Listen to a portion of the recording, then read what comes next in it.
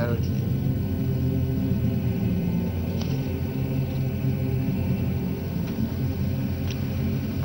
may need a glass of water. I could have that. Yeah? Yes. Yes.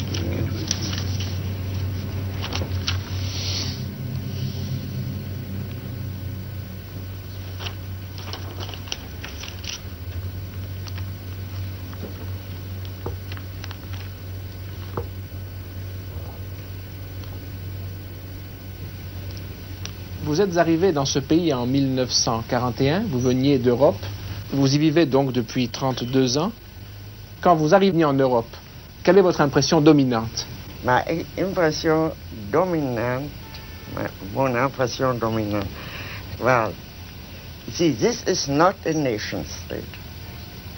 America is not a nation state. Mon impression dominante, c'est que l'Amérique n'est pas un État-nation. Et les Européens ont beaucoup de mal à comprendre ce simple fait qu'ils devraient pourtant théoriquement connaître.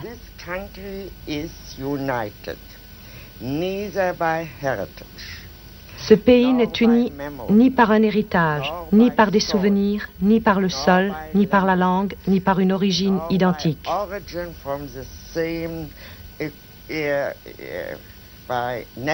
There are no natives here.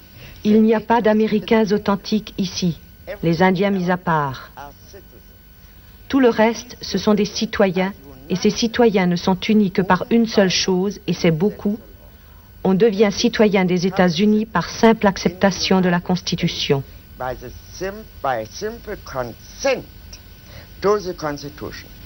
The Constitution, that is a scrap of paper according to. La uh, to Constitution, du point de vue français ou allemand, n'est qu'un morceau de papier. On peut la modifier. Mais ici, c'est un document sacré. C'est le souvenir constant d'un acte unique et sacré, l'acte de fondation des États-Unis.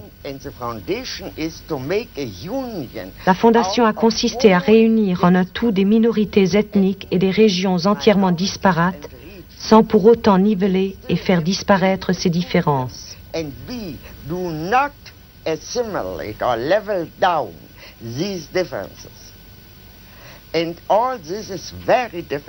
Tout cela est très difficile à comprendre pour un étranger. Uh, Nous pouvons donc dire que dans ce système politique, c'est la loi qui règne et non pas les hommes. Jusqu'à quel point ceci est vrai et a besoin d'être vrai pour le bien du pays, j'ai failli dire de la nation, pour le bien de l'ensemble des États-Unis d'Amérique, pour la République, à vrai dire. Durant les dix années qui viennent de s'écouler, l'Amérique a connu une vague de violence politique marquée par l'assassinat du président, de son frère, par la guerre du Vietnam, par l'affaire du Watergate. Pourquoi l'Amérique peut-elle surmonter des crises qui en Europe auraient abouti à des changements de régime, voire à des troubles intérieurs très graves? Now let me je voudrais poser le problème d'une façon légèrement différente. Je pense en effet que le tournant dans toute cette affaire a été l'assassinat du président. Uh, and De quelque façon qu'on l'explique, et quoi qu'on sache ou qu'on ne sache pas à ce sujet, il était absolument évident que pour la première fois, depuis très longtemps dans l'histoire américaine, un crime s'était directement mêlé au processus politique et l'avait transformé.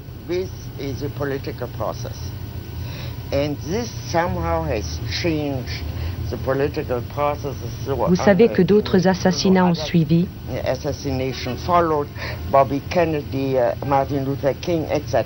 En dernier lieu, l'attentat contre Wallace appartient à cette même catégorie d'actes. L'affaire du Watergate a révélé l'une des plus profondes crises constitutionnelles que l'Amérique ait jamais connue. crisis, Et quand je dis crise constitutionnelle, c'est beaucoup plus important ici qu'en France. Then if I would say uh, une crise constitutionnelle en France, for the Je ne sais pas combien vous avez eu de constitutions depuis la Révolution, mais pour autant que je me souvienne, au moment de la Première Guerre mondiale, vous en aviez eu 14. Je ne veux pas entrer dans les détails, vous savez cela sans doute beaucoup mieux que moi. Ici, par contre, il n'y a qu'une constitution. Et cette constitution est en vigueur depuis près de 200 ans. Le contexte est donc entièrement différent. C'est toute la structure du système politique qui est en jeu. Cette crise constitutionnelle représente pour la première fois aux États-Unis un conflit ouvert entre le législatif et l'exécutif.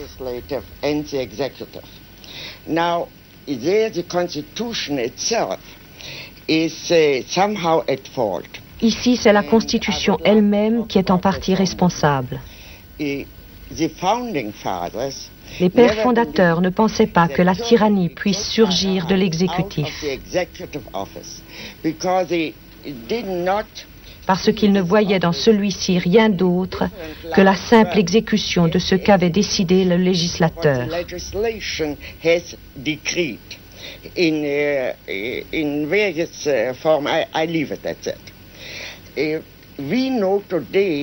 Nous savons aujourd'hui que le plus grand danger de tyrannie vient de l'exécutif.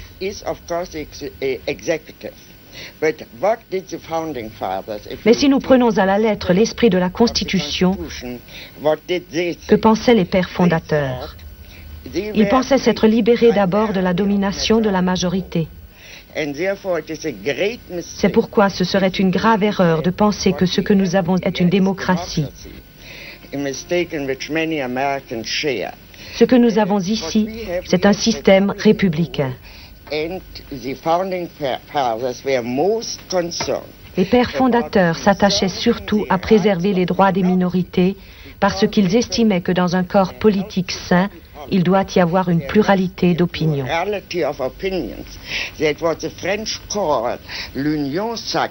Ce que les Français appellent l'union sacrée était précisément pour eux ce dont il ne fallait pas.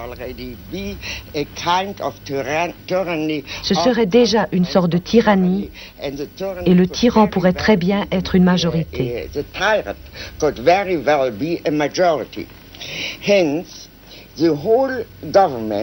Par conséquent, le système politique tout entier est organisé de telle façon que même après la victoire de la majorité, il y a toujours une opposition.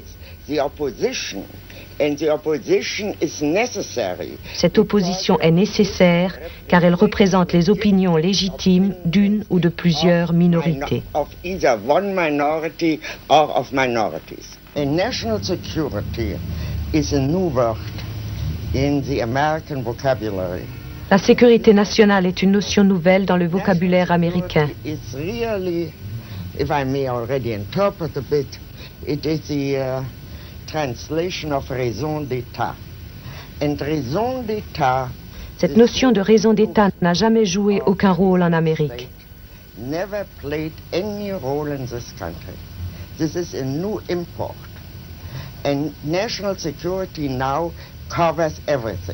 La sécurité nationale couvre maintenant toutes sortes de délits.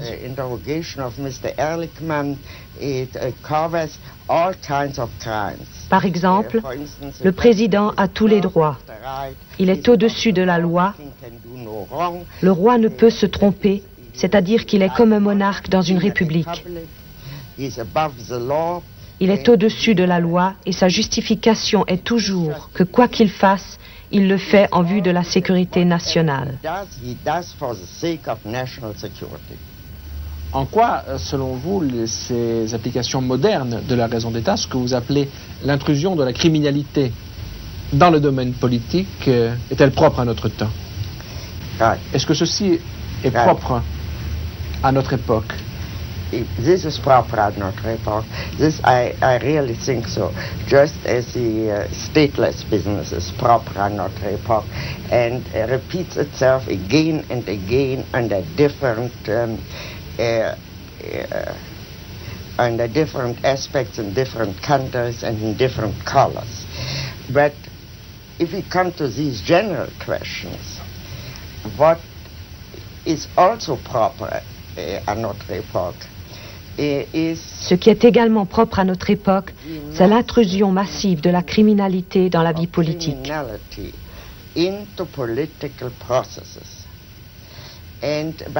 Je veux parler ici de quelque chose qui dépasse de loin ces crimes, que l'on cherche toujours à justifier par la raison d'État, en prétextant que ce sont des exceptions à la règle.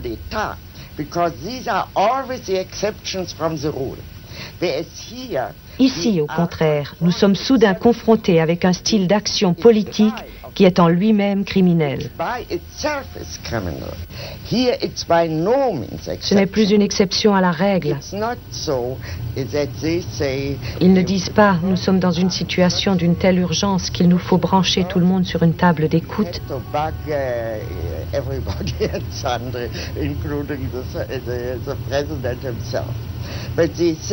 Ici, la table d'écoute fait partie du procédé politique normal.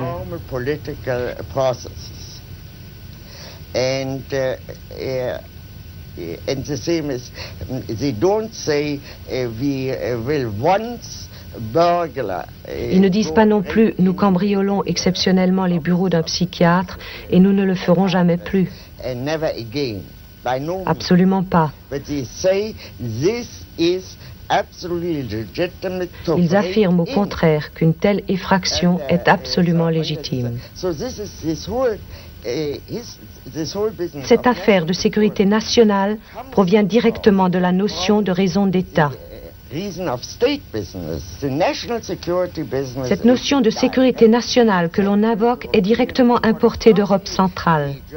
Bien sûr, les Allemands, les Français et les Italiens la reconnaissent comme entièrement justifiée parce qu'ils ont toujours vécu sous cette règle. Mais c'était précisément l'héritage européen que la révolution américaine avait l'intention de briser.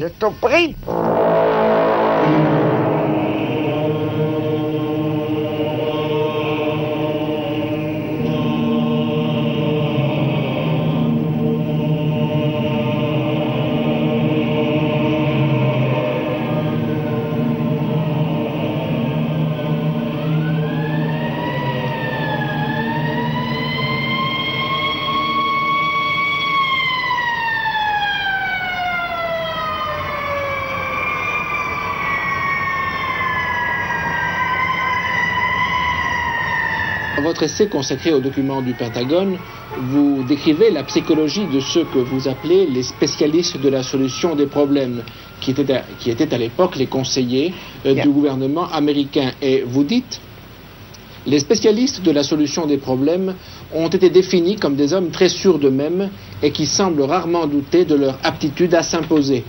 Ils ne se contentaient pas de faire preuve d'intelligence, mais se targuaient en même temps de leur rationalisme, de leur amour de la théorie, de l'univers purement intellectuel, leur faisant rejeter tout sentimentalisme à un point assez effrayant. Euh, et vous ajoutez May I uh, interrupt you here? I think that's enough. Um, see, dans les documents du Pentagone, il y a un très bon exemple de cette mentalité scientifique envahissante.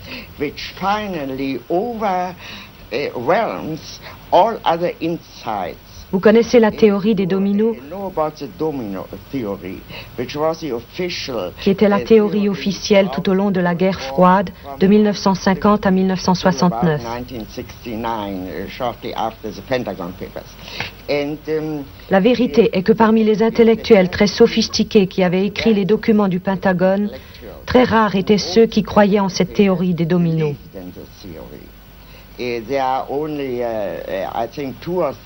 Au plus haut poste